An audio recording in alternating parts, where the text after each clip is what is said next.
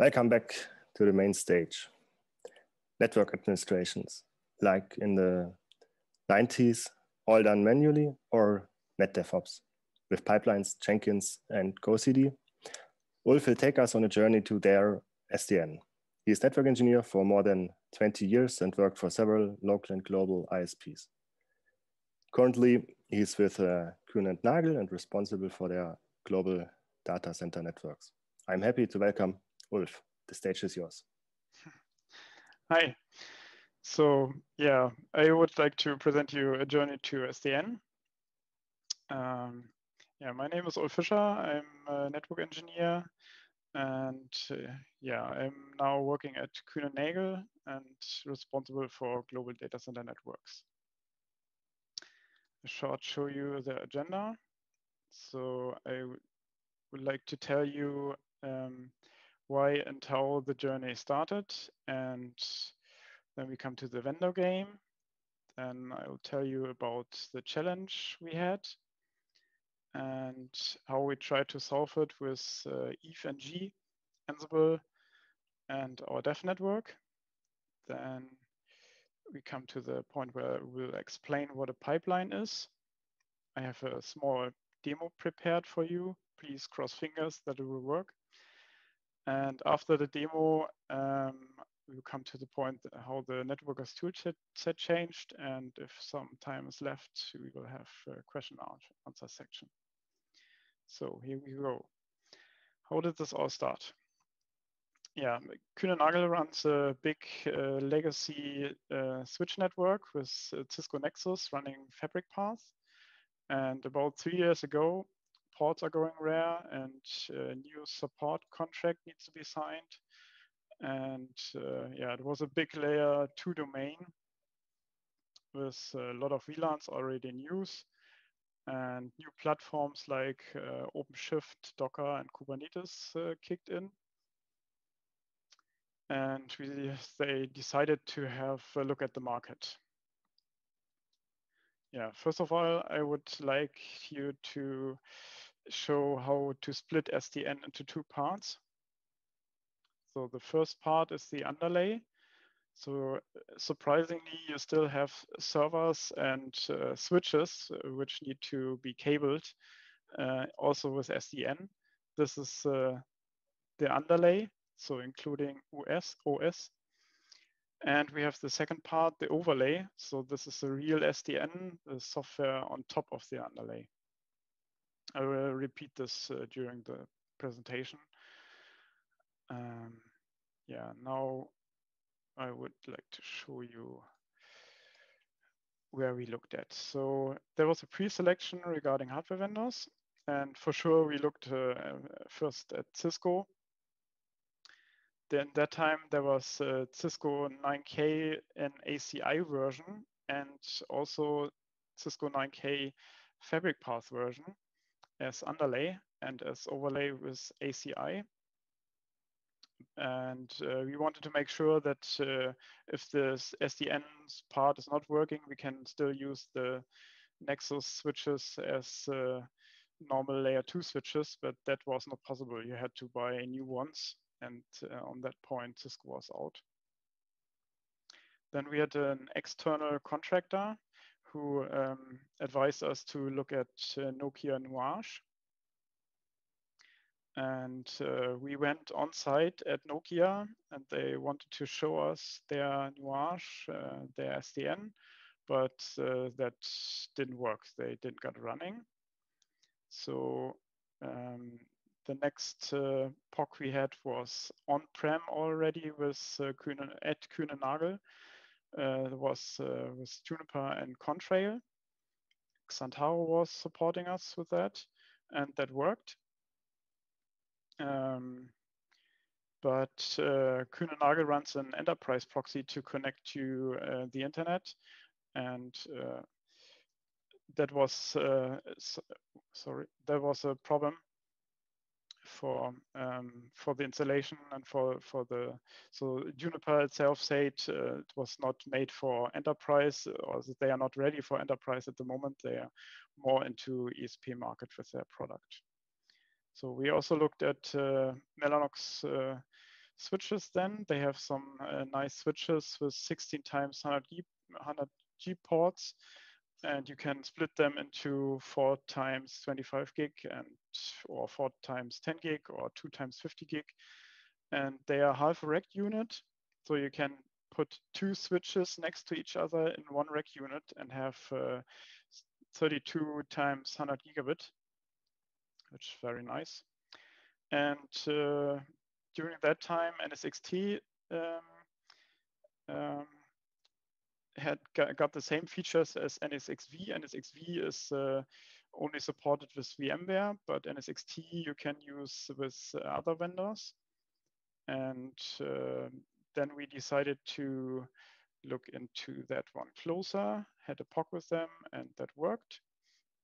And this is what we choose. So as overlay, we choose uh, VMware NSXT.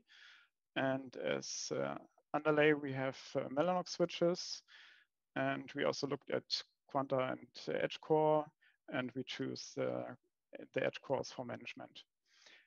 Mellanox and Edge Core running, running uh, Cumulus Linux.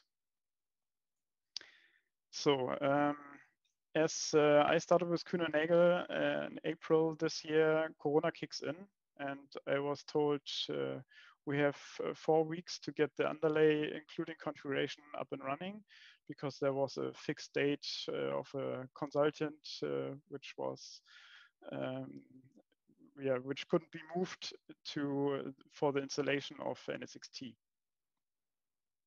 So for the overlay, so that was needed to be ready. Okay, so you, we had uh, some policies to fulfill. Um, the we, we wanted to have this as infrastructure as a code, and we want we needed to be revision and audit safe. And Nagel runs uh, Bitbucket already, so that's that's uh, Git, and we decided to use it. And me and my colleagues uh, already had some experience with Ansible, and that's why we choose this one for automation. And um, Cumulus has a virtual edition of their um, software. It's called Cumulus VX. You can download it for free. And uh, yeah, we needed to have a, uh, so I, I, I was uh, taking over the uh, software part on, on the configuration and a colleague of mine took over the racking and cabling part. Thank you, Norbert. And uh, yeah, I needed to have some development network where, where I can uh, try the configuration and try the provisioning with Ansible. Um, you can run this Cumulus VX on several virtualization platforms like uh, VMware, VirtualBox, or Vagrant, or KVM, every, everything you know. And you might also have, uh, you might also know GNS3, where you can emulate uh, virtual networks. I looked at it, but I don't like this fat client setup. So I got an advice from a friend of mine uh, look into uh, to look into EVE-NG. Thank you Didier for this advice. And uh, yeah, that I like that because you only need a browser to um, configure your network. And uh, Cumulus Linux uh, were also running on that one. So I created a dev network Here's uh, what I created. So we have two spines here and some leaves and the management, uh, some management switches and a small jump host. And with Ansible, I started to, so with Ansible, you can split the configuration. You can, you can have one file, uh, one big, big file and have a big playbook to run with. And um, that's all fine and will work. But if you get bigger, uh, you will would like to split this and you can do this with roles in Ansible. So I started to um, build all the roles and tested uh, the configuration on the dev network with EVE-NG. This EVE-NG has a nice uh, function which, which is called wipe. So you can um, wipe the switch completely and it will reboot with a fresh not uh, configured version. And you can try again with your Ansible setup. Um, yeah, so that was ready and that worked. And I started to uh, go with uh, management switches because they were already up and running before the rest was done. That also worked. Um, but uh, we, I always uh, did this by hand with, from the command line. So run every every run was uh, done manually by hand, and you need to remember all the switches and options you have there with uh, Ansible. And that's why we started to look into some uh, pipeline tool. So what is a pipeline? Uh, I need to um, I need to go a little bit back for this to explain this. You all may know VTP. So you can have a, a VTP server and a lot of VTP clients. And if you configure um, a VLAN on the VTP server, all the clients will also have the, the new VLAN by some magic. That's very nice. But at the same time, you can also, if you delete uh, VLAN or some more VLANs, they will also be deleted on all clients. And I, am sure you all know stories where uh, VTP broke the network because you deleted too much or the wrong VLAN or something, or by accident. So that's very good comparable to automation or automatic configuration rollouts in general. And to avoid this, um, you need to have uh, or you want to have testing before you roll out your change in your live or production environment. So you can do this, uh, for example, when you have GNS3 or EVE-NG with uh, some virtual, or if, uh, if you can afford, you can have a smaller hardware lab where you can roll out the change, change and test your change um, before you, you go live with that.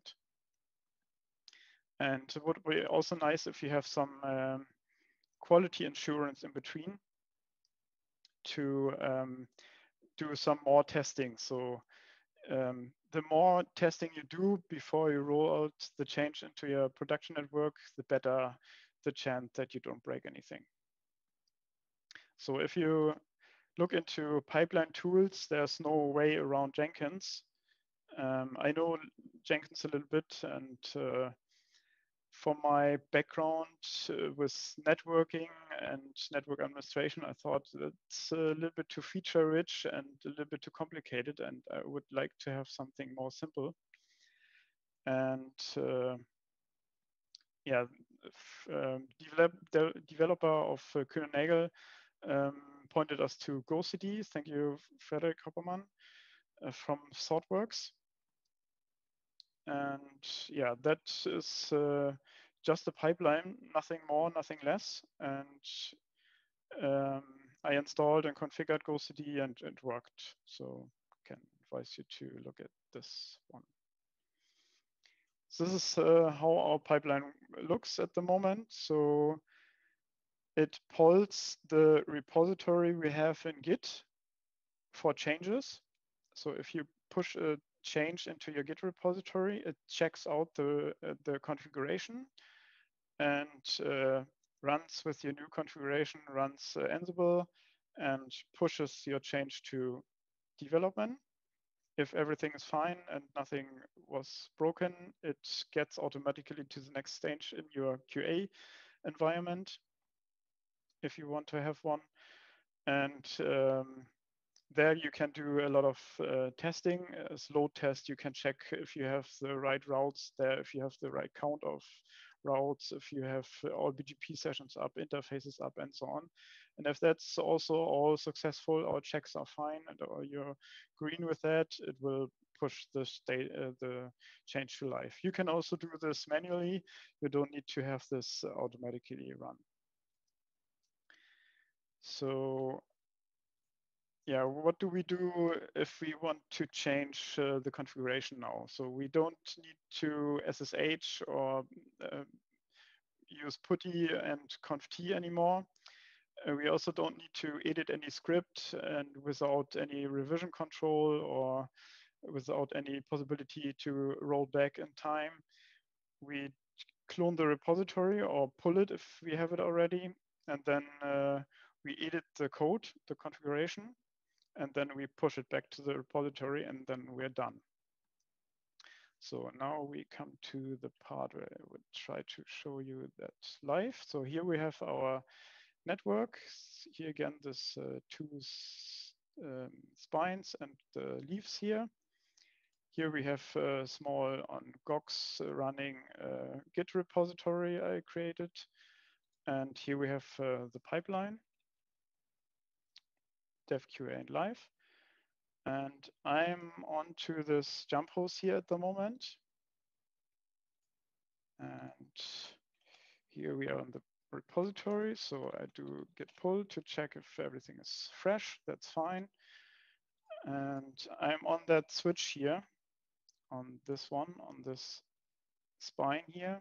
And uh, oh, sorry, I show you show BGP summary. We show you we have uh, SVP, which has an idle BGP session here. And show interface all. This is up and down at the moment. And we now want to try to get this up.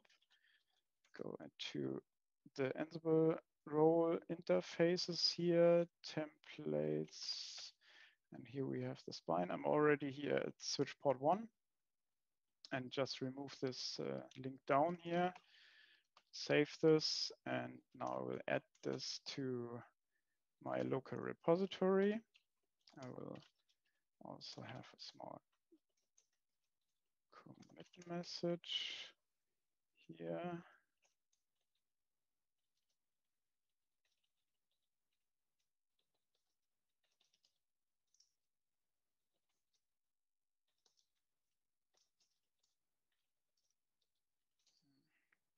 So it's now checked in and uh, do a push here. I'm going to push it to the remote repository.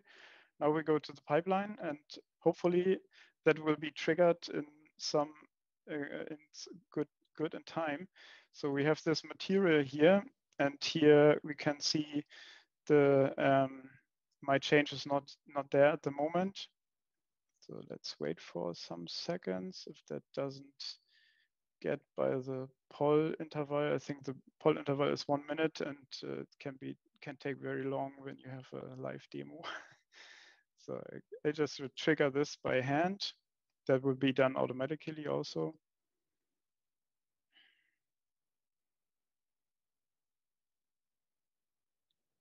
So now, now we have this change here.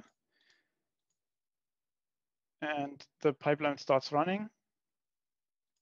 So it, uh, it will ask for an agent and it's already building here. The agent is also running on the jump host and we can look also into it, um, what it's doing. So it, it just uh, runs the Ansible playbook here.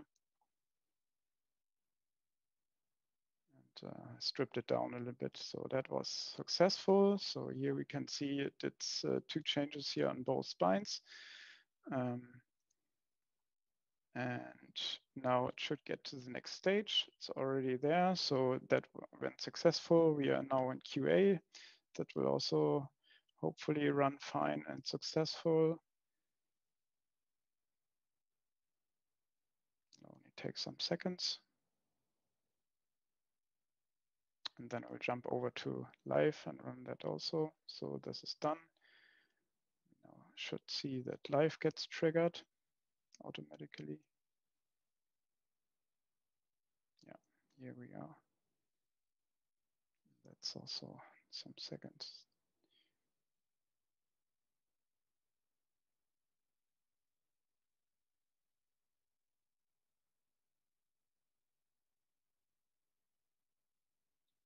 Okay. So come, come on, give me the green successful sign here. yeah, that's done finally.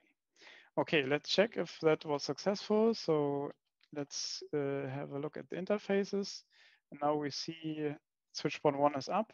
And let's see if our BGP session is there. And yeah, we are lucky that worked. We received prefixes and that's it.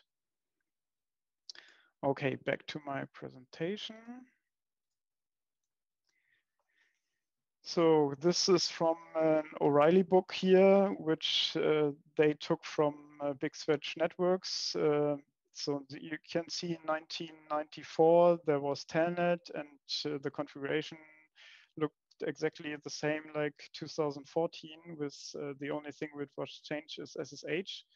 But uh, today I'm to configure the network, I only use uh, my favorite editor like Nano, Joe, whatever you want to use, uh, edit the configuration file, add it to your Git repository and push it, and you're done. So that's a big change uh, in the toolset of a networker, I think. So no PuTTY, no SSH anymore. No, sorry. Um, yeah, I'm uh, more a command line guy, so I use uh, do this all on command line. Um, but you don't need to be scared if you're more into Windows. You can have a very good setup with Windows, also with uh, Git for Windows and uh, Atom. You need to uh, remember this Control Shift P. Um, then you get a, a menu up uh, and uh, where you can put into your re remote repository, and then you have the possibility to check out and push your um, your changes or only with uh, one editor you have. I just uh, short show you how that works with Atom. You can also use uh, any other editor you like and supports Git. So here we have already the repository checked out. We have here an Edge uh, interface which we want to edit that uh, I will, um, if, if you do a change here, you need to save it. then you get unstaged changes here. You can click on uh, stage and then it went to the staging here. Then you can have your commit message, what you wanted to, uh, where you put your why line, why you changed it uh, into that field. Then you commit it to your local repository and then it changes here that you have uh, uh you are able to push uh, this to uh, the remote repository and you can click here and you're, you're done with that. So that's a, a very nice workflow to go here and very clear. And you only need, uh, as I said, uh, editor to configure your network, nothing more. Uh, sorry. So finally, we won the challenge. The SDN was uh, ready in time, I think uh, two days in advance, and the SDN overlay installation was successful. So we were ready that was in time. So do you have any questions? Yeah, well, thank you very much for that um, great talk. What I really like is that it differentiates um, between the, the ISP and the enterprise market. And I think in the past in DENOG, we had a lot of um, ISP talks and now um, there are more and more um, talks focused on enterprises and uh, especially when you highlighted out the differences in the uh, switches that there are, might be more feature sets which are relevant for ISPs or for enterprises and to, to have a look on, on that. Um, from the audience, there were the, the question um, that uh, some had uh, problems when they tested their devices, for example, uh, Cumulus images on Eve, that um, do, did you test with the identical images or did you um, get slightly um, uh, different, for example, interface names, which made tests um, uh, hard. So that there's there's one thing in uh, EveNG you cannot have uh, more than I think 28 interfaces at the moment at, at the um, community version of EveNG, I think. So that's uh, uh, what that was also a problem for me. But we now get the enterprise version. It's not so expensive, and uh, there you can have all interfaces. At least I saw it already on the, on the community pages of EveNG that it's possible to okay, have more, more interfaces than Okay, but like interface names are the same. You use the same images yeah. as you would uh, use. Yeah. So this, as I said, there's these uh, Cumulus VX, what you may know and what you can uh, try for free, and um, I, I, can help you in anything to get it up and running if you have any problems just okay, perfect. me and I can show you. Uh, for the audience, um, Ulf will, will, be available in, in the chat. You can uh, maybe directly chat to him um, in our yeah. Venueless tool um, or um, uh, find him in, in our community. Uh, someone also pointed out that GNS3 um, nowadays has also a web interface, but it's pretty new and uh, probably beta. Um, okay, I'll look into that. Thank you for that. Yeah, that uh, that was from the chat. And another question would be, how do you really, really test whether a configuration change is uh, successful when you mentioned the pipelines and you have the test stage and before you go to prod? Yeah, that's a it's a good point. Um, yeah, as I said, as as good as your tests are, uh, you, the chances are good that you don't break your live network. But yeah, so I, we, we are still in the progress that we have to build a lot of testing with that. So um, for example, you can check for the number of routes, as I said, and uh, if the interfaces are up, if you receive the number of pre prefixes you expect. So you need to remember that you also need to, to um, adjust the changes when you do a change. So if you have uh, one more interface up than before, you need to uh, program that also uh, into your testing that uh, otherwise it would just fail. But that's what you exactly what you want. So yeah, you need to think of yourself. You can also have uh, um, clients on the network which you do pings to or trace routes to and look into that. So with Ansible, you are able to have uh, a lot of um, um, um so the, the text you get back from the testing, you can uh, have very good possibilities to check if that's exactly what you expect to see there. So yeah. Okay. Uh, so last question, did you uh, also test interoperability between your existing network and the new SDN network, or is it a greenfield setup and you just put it um, in a new place? Um, yeah, good question. um, I have also, uh, if we go to uh, short back, go back to the um, dev network, I can show you that I also have uh, Nexus uh, devices here running in EVE-NG and also some PCs here. So I can power them up and I checked with EVE-NG already the integration with our legacy network. So yeah, it's, uh, I, I, did this also. Did, we did some testing and checking it before. Okay, yeah, that's, uh, that's a good idea. So uh, in time, um, many, many thanks for the talk. Uh, for the audience. for having me. For the audience, please rate the talks. That um, helps the PC to get an idea if this uh, talk was useful for the community. And um, with that, Ulf, thank you very much. Thank you. Bye.